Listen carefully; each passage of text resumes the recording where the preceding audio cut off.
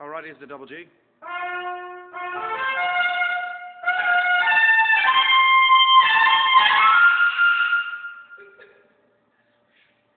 And there's the award-winning Claire McLean, Clara McLean,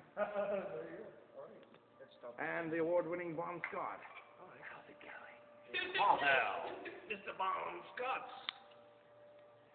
Kelly.